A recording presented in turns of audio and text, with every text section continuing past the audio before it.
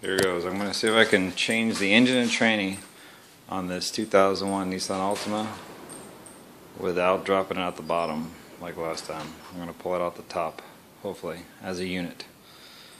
I don't know if this is can be done. I don't know if it's ever been done before. First step, remove the hubcaps, get rid of the axle shafts. Here's the uh, replacement engine tranny. Cleaned up as best as I could.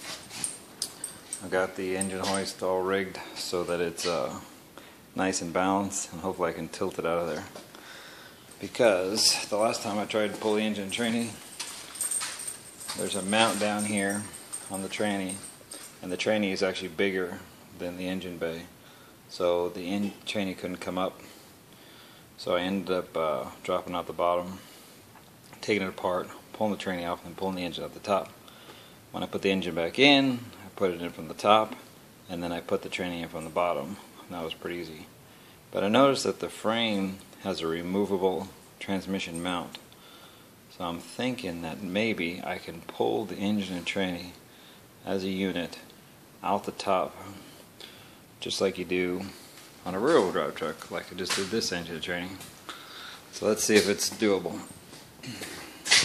Here goes. I'm going to try to pull this engine. Got everything disconnected exhaust, alternator, radiator, all the wiring.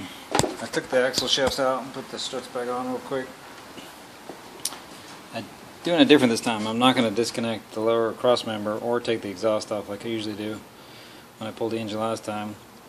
I'm going to try to leave those on. I'm just going to remove, I think, this bolt and these two, or maybe even just these two. I'm going to remove all five bolts to hold the tranny mount on and then the four bolts on the trans. Basically, there's bolts go right through. And uh, got the engine, I mean the Altima up on jack stand, so I'm just going to put the hoist on it and see if I can pull this out the top. It's pretty tight over here, but uh, I'm thinking worst case if I pull the harmonic balancer off, I may be able to, but there's like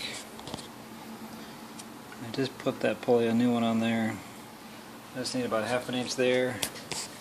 You can see over here, this tranny is like half an inch longer over here, so if not, I'm hoping I can just tilt it and get it out without going through the bottom again. Let's see, it's taking me over two hours to get to this point. Okay, here we go. Taking the engine and tranny out from the top when there's physically less room than engine using my little tilt-a-wheel. There we go. I got the engine and didn't even take the hood off. I didn't think it was going to be possible, but without disconnecting the AC, I was able to pull the engine and tranny out. It wasn't too bad. I think I'll just pop the tranny off the new one put them in as separately. It may be easier because it's pretty tight. There you go, my daughter helped. Okay, it is out. Engine and tranny as a unit. I didn't think it was going to be possible. I think this stupid little uh, whirly bender, bender thing uh, is what made it possible. So I put a bolt right there. Put a bolt right there that's not even used on the tranny.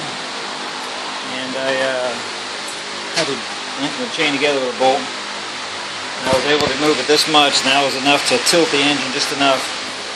I removed one front engine mount bracket off the block. I did not move the rear one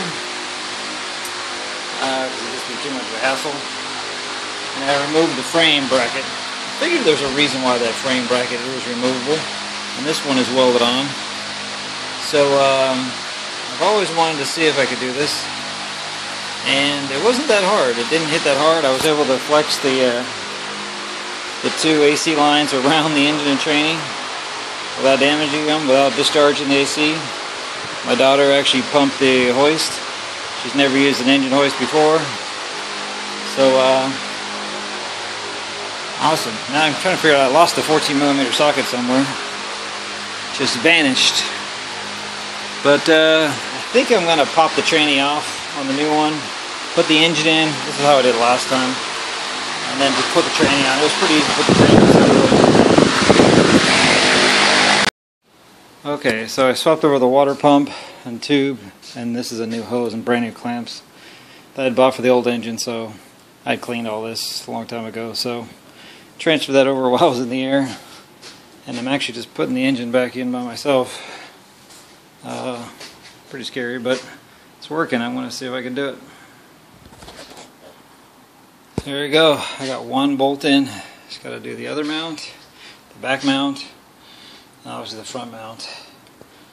But I successfully put the engine and tranny in, and in 2001 KA24DE 2.4 liter. Pretty much uh, by myself. My daughter actually helped a little bit on both out, but I actually put it in and got it past the two AC lines by myself, just bleeding the valve, just having it cracked open, just slowly lowering it down. So able to kind of bend these around without really actually bending. I'm just kind of pulling them out of the way. So now I just got a couple of wires, wires and hoses to hook up, and eight hours later I'll be running. No. So far, I think it's taking me uh, four or five hours. Ah, that's pretty good, I think. I think it's actually faster than pulling the engine tranny apart and doing them separately.